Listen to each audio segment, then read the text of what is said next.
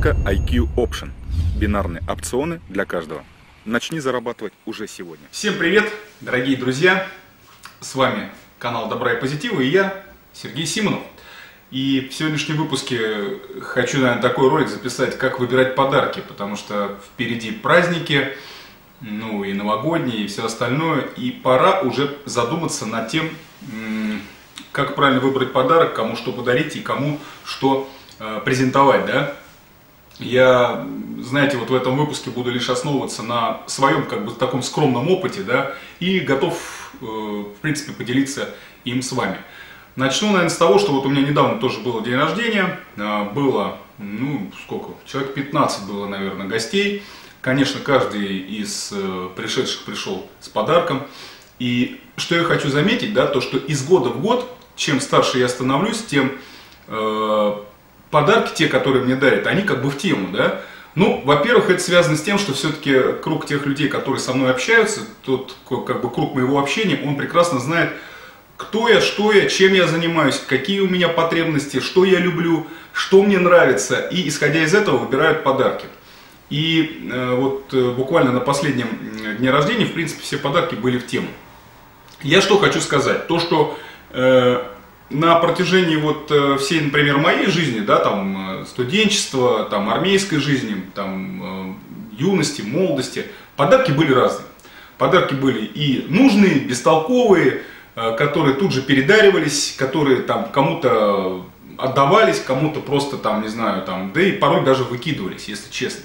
К бесполезным подаркам, вот если честно, я отношу ну вот лично мое мнение, да, это всякие вещи, связанные, например, с, э, ну, например, с ненужной парфюмерией, потому что вот чем старше становишься, да, тем вот вырабатываются какие-то свои вкусы, какие-то свои приоритеты в том или ином, например, а, парфюме, да, то есть те люди, которые меня давно знают, то есть они либо у меня, либо там у супруги спрашивают, там, Сергей вот это любит, ему это подарить, как к этому он относится, то есть как бы, э, ну, зондируют почву. Я считаю это правильно, потому что, например, люди приносят, например, какой-нибудь там парфюм, которым я не пользуюсь, там, или сладкий, или еще какой-то, да, то есть очень много моментов. Поэтому я думаю, что такие вот э, какие-то личные вещи, например, там какой-то свитер, джемпер, рубашку, тоже я считаю, что э, дарить нужно очень-очень осторожно, потому что нужно знать размер как бы у человека, да, там э, воротник какой э, у тебя размер, да, то есть рост там и все остальное. То есть это настолько вот личные какие-то вещи, которые, как я, отношу как бы к глупым подаркам, потому что,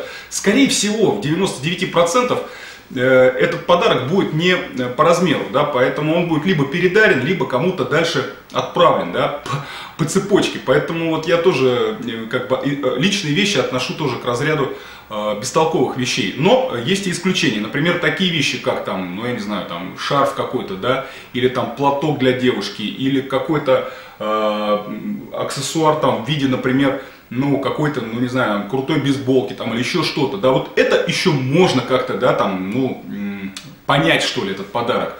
И э, из чего напрашивается вывод? Как же правильно выбрать подарок? Ну, вообще, я считаю так, что лучше всего, конечно, э, взять и просто тупо спросить у человека, э, что тебе подарить.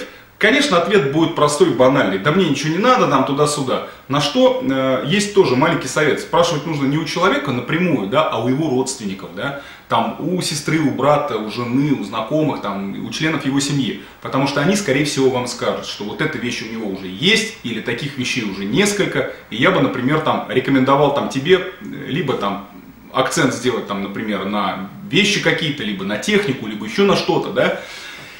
И я думаю, что в том, что вы э, спросите, какой подарок человеку подарить, ничего плохого нет. И я не считаю это как бы э, дурным тоном.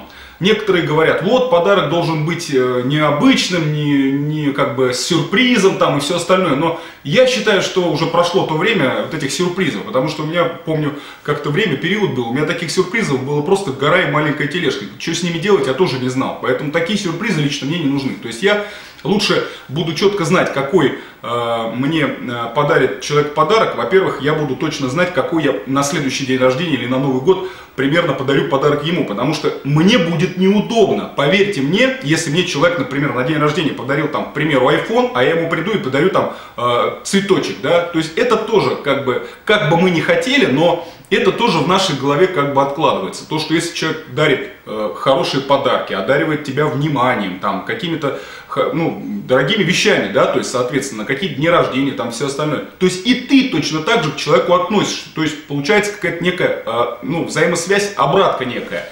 Вы напишите в комментариях, согласны ли вы с моим э, утверждением или нет. Но я считаю, что подарки должны быть со смыслом, даже пускай они будут недорогие. То есть, что я имею в виду? Не каждый, конечно, смотрящий меня там на той стороне экрана, может себе позволить купить там iPhone на день рождения там другу или еще что-то. Да совершенно верно. Но можно, например, купить какой-то э, понтовый крутой э, чехол к iPhone. Или какой-то аксессуар к нему. Или там, я не знаю, что еще. То есть, вот опять же, да, у нас на канале сейчас в ближайшее время будет э, объявлен конкурс MacBook. Я же перед тем, как э, подумать, какой я хочу сделать э, приз на этот конкурс, я же тоже провел кучу опросов всего остального. И все мнения сошлись к тому, что нужно что-то делать из разряда Apple, да. И мы приняли вот разыграть MacBook. Вот э, я не скажу, что я такой умный, просто люди так считают, понимаете?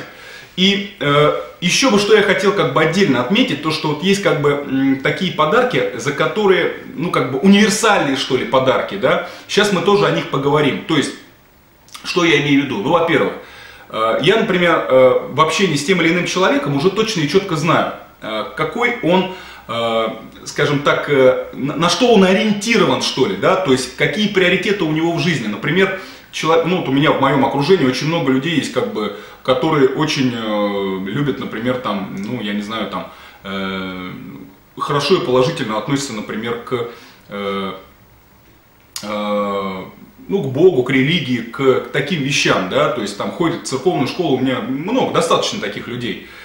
И у меня просто возникает простой вопрос, что ему подарить, у меня ответ сам по себе приходит, да, то есть какую-то икону, например. Вот у меня был ролик, там я выбирал подарку, подарок э, своему другу там на, соответственно, юбилей там свадьбы, да.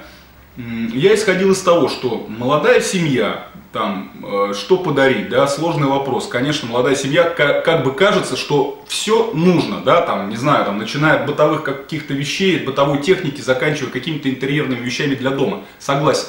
Но это все, как мне кажется, ерунда. То есть этот подарок, он быстро забудется.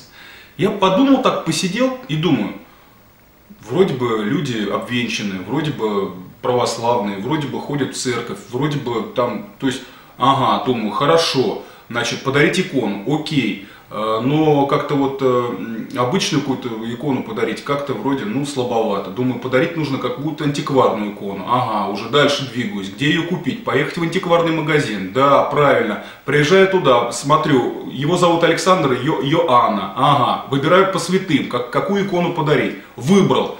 Там по, по цене как бы договорились.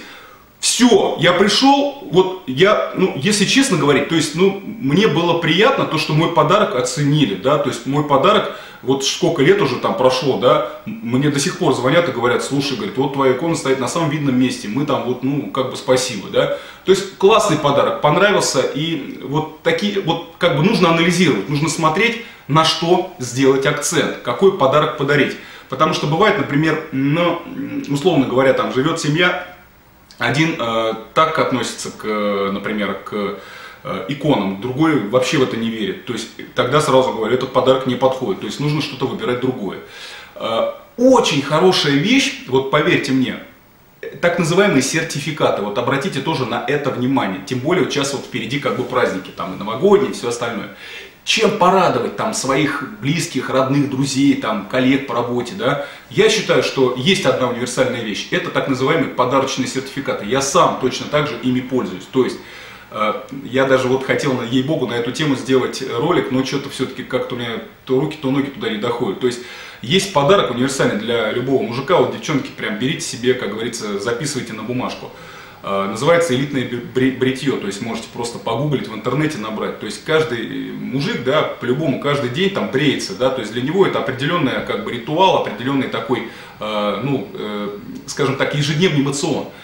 И есть очень классная штука, но опять же, это стоит там каких-то денег, по-моему, 2 или 3 тысячи рублей. Вы сейчас скажете, это дорого. Да, согласен, ну как-то можно уж как-то раскошелиться и своему дорогому любимому человеку подарить такой подарок на день рождения, например, да. Э, элитное прилье, бритье. То есть э, при э, пятизвездных отелях, например, в той же Москве или Питере, есть так называемые салоны красоты, в которых можно вот купить, выкупить этот сертификат. То есть вы приходите в этот салон, покупаете сертификат, дарите своему близкому там или другу своему, и, соответственно, он, приходя в этот салон, не оплачивает процедуру, а просто рассчитывается так называемым сертификатом. Либо берет услугу там дороже, но ему вычитают эту сумму за сертификат. Я считаю, это классный подарок. Точно так же и к девочкам это относится, да, то есть вы мужики, там, ребята, парни, да, то есть можно взять такой же сертификат и подарить, например, девушке там, ну, условно говоря, какие-то процедуры, либо какую-то стрижку в э, салоне красоты, тем более, как я уже сказал, праздники, да, все хотят быть красивыми, нарядными и все остальное. Куча разных вариантов, и абсолютно это недорого, то есть здесь можно подобрать какой-то вариант, Э, какой-то вариант э, компромиссный, что ли, да, и не обязательно всегда потратить много и кучу денег. Ну, если говорить, конечно, о подарках девушкам и каких-то каким-то, каких-то вот таких сюрпризов, а обязательно к основному подарку прикладывайте цветы. Это стопроцентное попадание, понимаете? И опять же, не просто банально купить какой-то букет или еще что-то, да, закажите композицию, пускай она будет подороже, но вы придете и вы будете в центре внимания. Вы в любом случае, все девушки однозначно любят цветы, ну за, за может быть каким-то маленьким исключением. Поэтому я думаю, что если вы будете э, дарить девушкам цветы, вы будете на высоте. И это вас только будет облагораживать в ее глазах. И э, не все, например, любят цветы к дню рождения. Например, я себя к таким людям отношу. То есть я всегда говорю, как, те, люди, которые ко мне приходят, я говорю, ребят, ну не тратьтесь на цветы, ну как бы я спокойно к ним отношусь. И я считаю, что вот, ну, в основном мужики как-то к цветам относятся, ну, как бы нейтрально, что ли, да. Вот жена у меня безумно, Виктория, любит цветы, то есть, ну, просто безумно. То есть, у нас даже если нет никаких-то праздников, еще что-то, у нас всегда э, в доме есть цветы, да. И это здорово, цветы это настроение, цветы это классно. Вот. Э, что еще хотел сказать по поводу выбора подарка. Э, ребят, вот э, напишите, пожалуйста, в комментариях, какие у вас, может быть, есть секреты по, по выбору подарков. Потому что на самом деле это актуальные вопросы. Я сам постоянно задаюсь этим вопросом. Кому что подарить? Например, там человек, которому там уже там, ну, исполняется 50 лет. Это один подарок. Там молодой пацан, там, которому там 18-20 лет, это другой подарок. То есть Напишите, какие вы вот в последнее время дарили подарки. Не надо писать стоимость, просто вот на что сейчас народ клюет, что нравится. Ну, кроме, наверное, техники, этих Apple, там, макбуков э, и все, что с этим связано, да. Мне просто интересно, давайте в комментариях эту тему пообсуждаем. Ну и все, что, ребят, скоро конкурс, скоро сходка, 5 декабря тоже не за горами. Всех еще раз хочу пригласить, э, улица Мельникова, дом 7, э, клуб 7, приходите, все новости, все Э, интересные все движения есть в группе Добра и Позитива, в нашем паблике Добра и Позитива. Так что э, буду рад всех реально видеть. Будет крутая программа, уже встречался с ведущим, э, с диджеем, будет, будет интересно, короче, не буду раскрывать всех секретов. Все, всем добра и позитива, с вами был Сергей Симонов. Чао, пока!